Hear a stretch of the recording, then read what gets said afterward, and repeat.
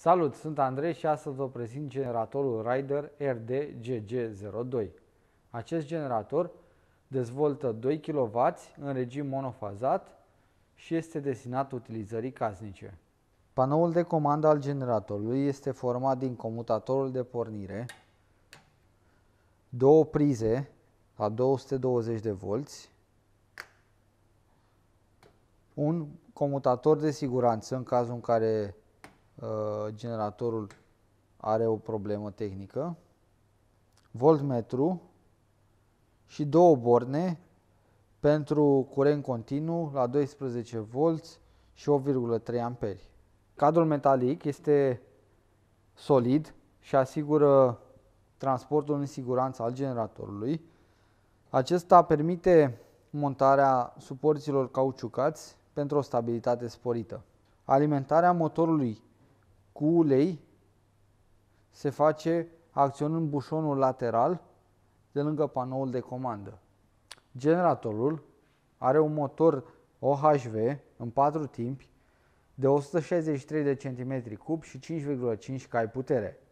Pentru pornirea generatorului trebuie acționat comutatorul de alimentare, șocul, întrerupătorul de pe panoul de comandă și apoi tragem de demarorul mecanic.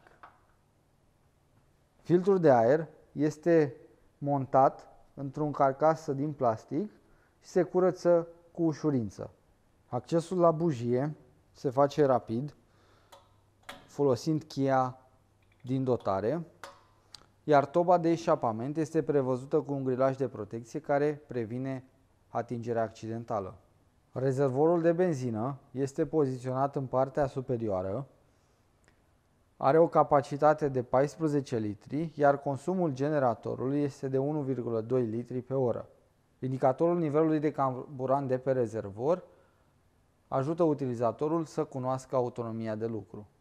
Generatorul folosește ulei SAE 15W40 și pentru alimentare trebuie acționat bușonul de sub panoul de comandă lateral.